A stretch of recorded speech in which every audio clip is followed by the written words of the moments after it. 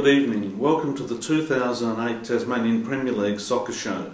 My co-host is Jeremy Arnold, the sports editor at WIN Television. Our guest tonight is former Manchester United player and current South Hobart coach Ken Morton. I'm Walter Pless. This evening we'll have five games to watch and review. Tonight's first game is the Northwest Summer Cup final between Devonport City and Somerset. Jeremy, do you have any questions for Ken? I guess, Ken, uh, you're a fan of taking your southern sides up, up north for, for pre-season hit-outs. Um, how did you find the competition uh, up in the north uh, west of the state? Um, it's interesting this year. We played Devonport in the uh, Launceston Cup and they were a, a solid team. They worked very hard and uh, they have quite a bit of experience with McKenna and Snowy Compay still playing. So I think they're a much improved side from the last couple of seasons. So I'll be looking forward to see how they shape up this year.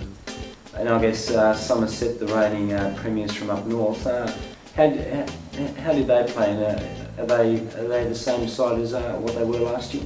Somerset are a good side. They're a, a side that pass the ball around well. They've lost one of their key players, Ricky Eves. Ricky Eves has moved down south and uh, with work commitments, and I think they'll miss him. He was a driving force in midfield.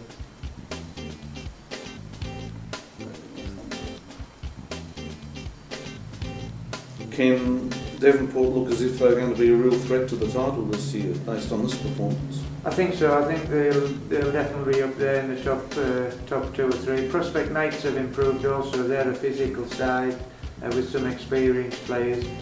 Um, I think with Devonport it is they need to keep McKenna fit. McKenna is a big uh, big star there.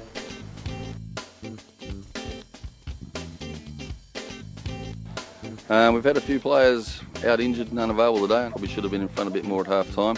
We've had to blood a lot of young un under 18s, and um, as you see from the game, they're struggling a little bit with the pace, but they'll get there by the end of the season and be ready for next year. Oh mate, for a pre-season game, you know, it was, it was nice to come away with a victory. I thought the boys worked hard, so it was a good result for us overall. Fought back for a 2-1 half-time deficit to come away with a 3-2 victory. It's great in any game of soccer, so yeah, I'm really pleased. Devonport won that Summer Cup final 3-2. Now we move to the Launceston competition, the Steve Hudson Cup. Ken, you were intimately involved in this one, coaching South Hobart. Yes, the Hudson Cup's been a good preparation for uh, South Hobart. Um, the games have been very varied. Uh, I was quite pleased with our performance in the final against Riverside. We knocked the ball around quite well and we certainly got some good penetration in the front third.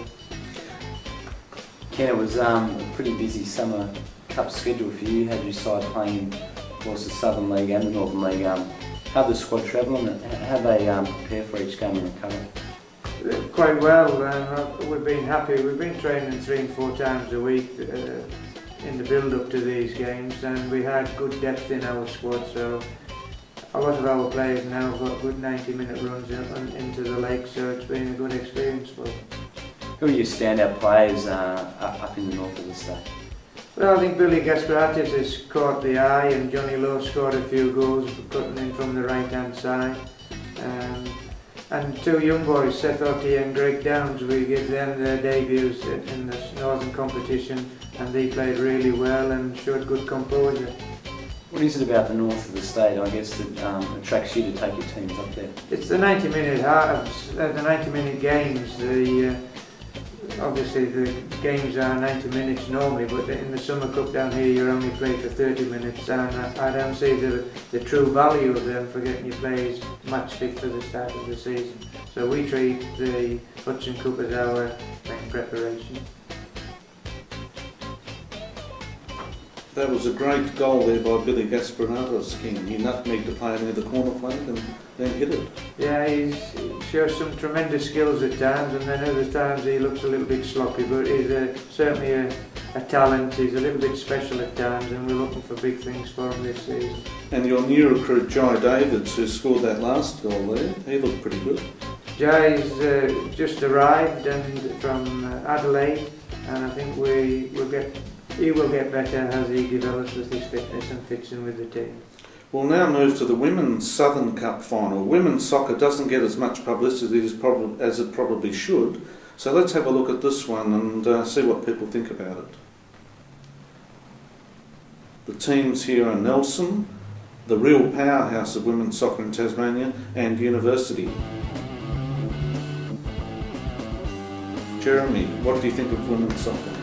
I think uh, the, the Matildas uh, and their progression uh, on the world stage, I guess, has uh, raised the profile of uh, women's soccer.